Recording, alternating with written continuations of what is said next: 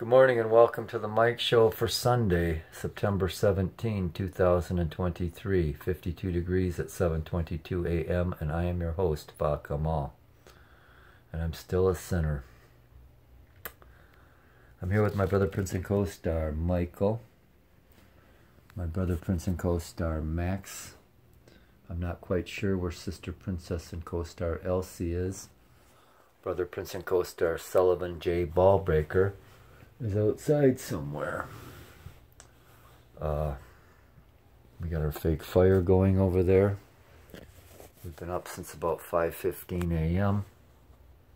And we've had our prayers, our coffee, our readings. Just enjoying this quiet Sunday morning. Thinking a lot about where we're headed to. And we're going to make a lot of decisions and do some things here. Uh, and we'll get into them in a bit. Let's just do a recap from yesterday. First, we, after coffee and wake up time, we baked some bread. And I forgot it was in the oven, so instead of baking for 20 minutes, it baked for a half hour. And I haven't tried it yet, so I'm either going to have some bread with some crunchy crust on it or a couple new door stops. Went for a little ride after that. Went to go visit someone I used to work with. And he was not home. I haven't been able to reach him by phone. Just want to catch up. I don't know. I keep thinking about him. And so when things like that happen, I try to reach out to people like that and see, you know, whatever. Um, but I did end up riding about 10 miles. Went and uh, Marine Market and picked up a couple things there. Stopped at the farmer's market and had an awesome conversation with someone, Thaddeus the mushroom guy, um, and about the insanity of this world and how it's gotten that way and how it's so, what's perceived as normal now is so acceptable to so many people. And for me, it's not, and I cannot accept it, and I will not accept it because it's not right. It goes against all reason, sanity, and rationality. These laws being passed and things that are happening. And he told me, just hang in there. You're not crazy, you know. And I knew that, and I know that. And, uh, but it was just good to see that there are people out there that see how nutty this is, and it's not right. And you do what you got to do to deal with it and live your life and try to live in peace, you know, and have some quality life and enjoy life and the beauty in the world that God created. Oh boy, I got a drippy beak. Well, no Kleenex handy, so there you go. Didn't want to disturb Mikey. But after that, I came home and showered and had lunch had a bowl of uh, my lentil soup and having trouble with one of my burners again. It's not the burner, it's the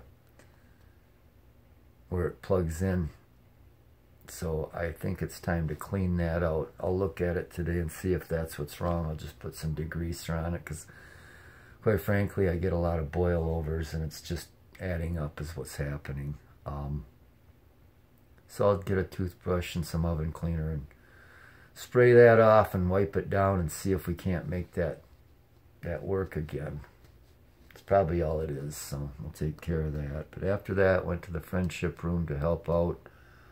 Uh, they're getting a new roof on over there, and so we didn't serve in the dining room. We went to making bagged meals to go. We had pizza, a nectarine, chips, and some kind of dessert bar or Pop-Tart for dessert.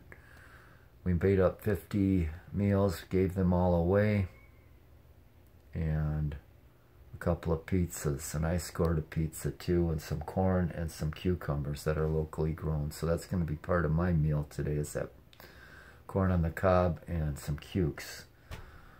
Uh, came home, hung out with the loves. Oh, I'm going back to they're they're getting a new roof on the friendship room, um, and it's a rolled rubber roof, and whatever they were doing, pounding on the roof and doing whatever they were doing, it was creating all kinds of dust and mess coming down into the dining room and on all the tables. And I joked with Randy, it's almost as dusty in here as it is at my home.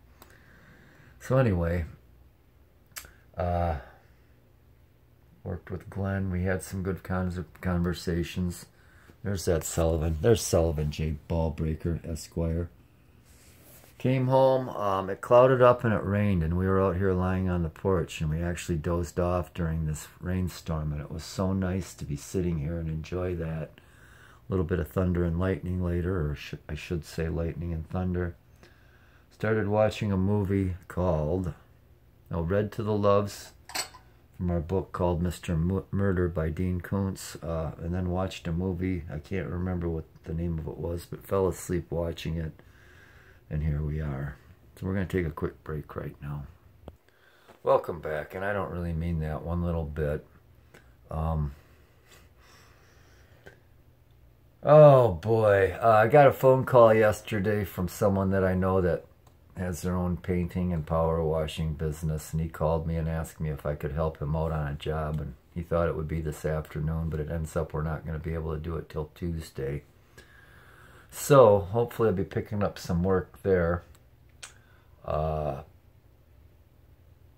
I've been doing a lot of thinking about some changes I'm going to be making in my life. Uh, I'm thinking of getting rid of my phone and Verizon service. I think I'll pay it off. It was insane. If I bought it and had the three-year program to uh,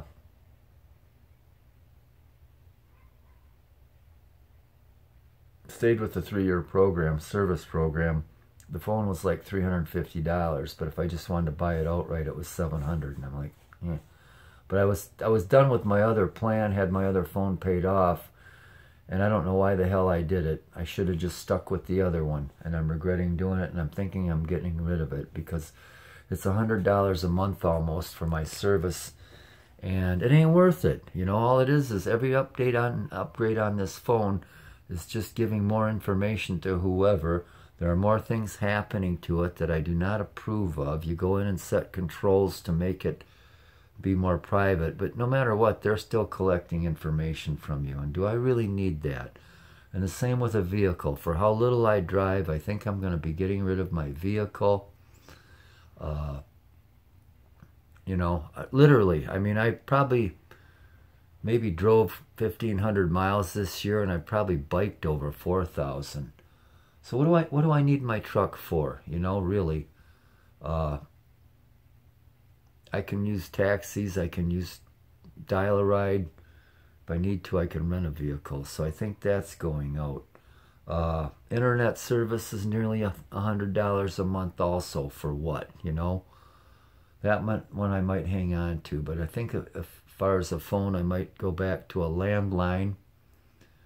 Um, but I'm cutting back and, and getting back down and doing as much as I can to get off the grid here because it's just nothing but constantly going up, up, up. And what are you getting but invasion of privacy?